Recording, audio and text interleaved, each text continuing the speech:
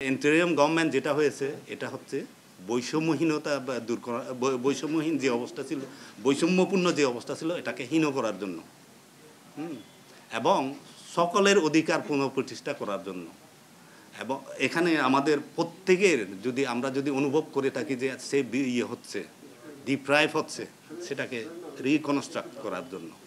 আমি জানি আমার task is very difficult but পার্বত্য অঞ্চল যখন আমার একটু পরিচিত জায়গা, সেই কারণে আমি এটাকে বলতেছি এখনও সম্ভব এখানে কিছু করার।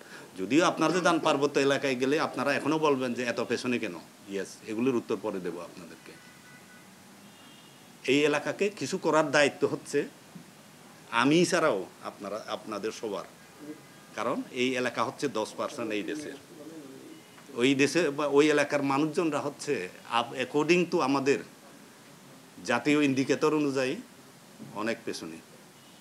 তো আপনারা খুব সুন্দর করে বলে দেন যে পিছিয়ে পড়া জনগোষ্ঠী।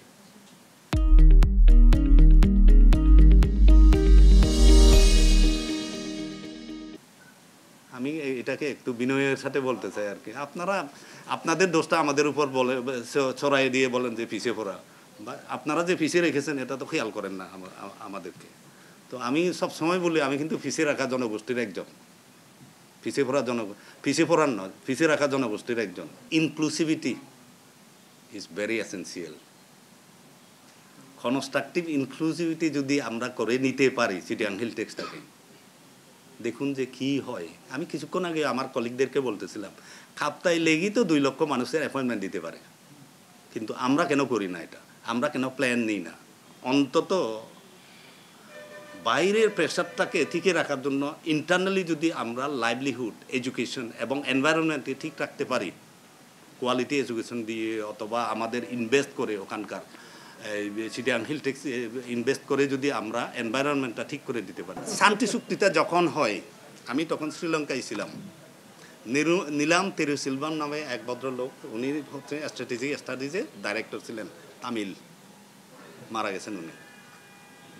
আমাকে, আমি তখন কাউন্সিলর ছিলাম, আমাকে টেলিফোন করে বলছিলাম mister Chakma tell me you have sign an agreement how you see it আমি বলেছিলাম ইট ইজ খুব পজিটিভ স্টেপ এই কারণে পজিটিভ যে, এতদিন যে গোলমালগুলি হচ্ছে, ওগুলোকে এখন নেগোসিয়েট করার মতো একটা প্ল্যাটফর্ম পেয়ে গেলাম।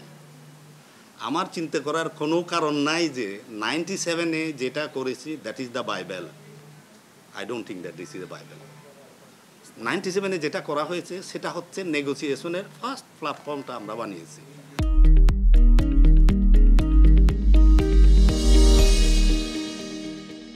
এটা হয়তো বা আমার এখন যে রিজনাল কাউন্সিলের চেয়ারম্যান মহোদয় আছেন, উনি এটাকে এভাবে নেবেন না। বাট আমি তাকে বারবার বল- এসতেছি যে আমাদের keep negotiating with the government negotiate করি না কেন? করি। নেগোসিয়েট করে এটাকে আদায় করে নিতে আমি নিজেও জানি কি কি বিষয়ে যে এখনও নেগোসিয়েশনের ইয়ে আছে। সরকার কেন রাইট হয়ে বলে দেবে যে এগ্রিমেন্ট যেটা হয়েছে মানে তিলে তিলে আমরা ইয়ে করব? নো কারণ over the period situation change হয়ে যায়। এই সিচুয়েশনটাকে আমরা ইয়ে করতে এই কারণে আমরা অনেক সময় বলি যে যেটা বলি যে everything happens due to presence of necessary conditions তো আমাদের সেটাকে নেসেসারি কন্ডিশনটাকে যদি আমরা ইয়ে করতে পারি রিয়েলাইজ করতে পারি, তাহলে আমরা অ্যাগ্রিমেন্টটাকে আমরা এগিয়ে নিয়ে যেতে পারব।